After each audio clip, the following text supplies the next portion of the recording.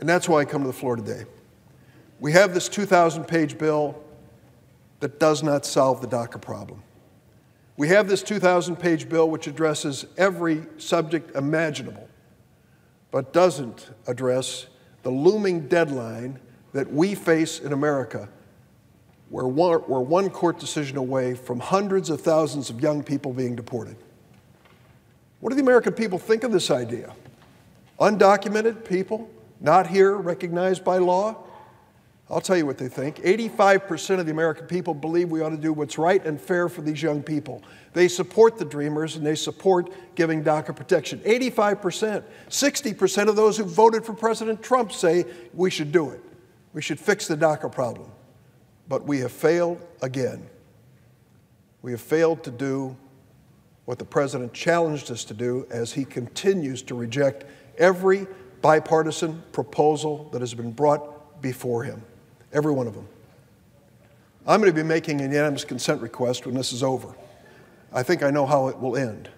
Any single senator can object and stop the protection of these DACA young people, and one is prepared to do it.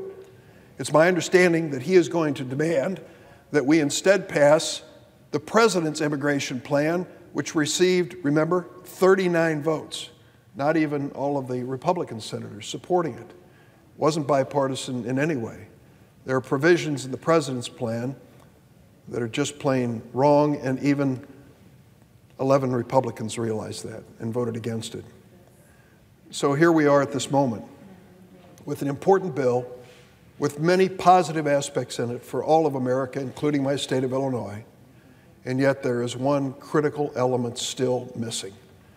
We have failed to include a provision to solve the DACA problem created by President Trump.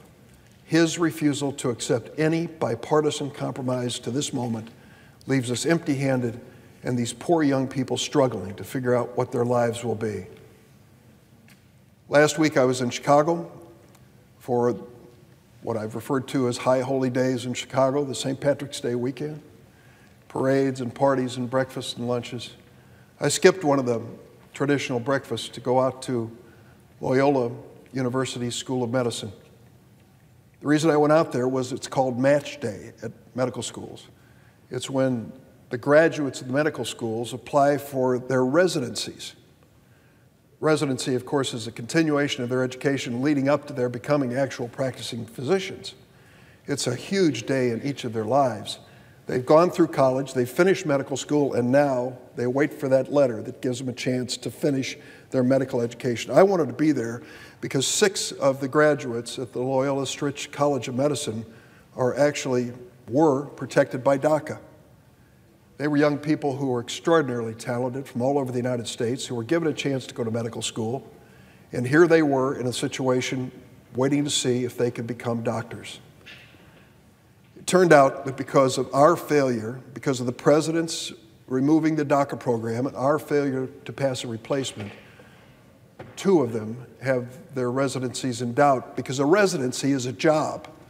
It's a big job. You don't just work 40 hours a week, sometimes 60 and 80 hours a week. It's a big undertaking. These young people without DACA protection cannot legally work in America and therefore found it next to impossible to find hospitals and universities that would take them and allow them to complete their medical education.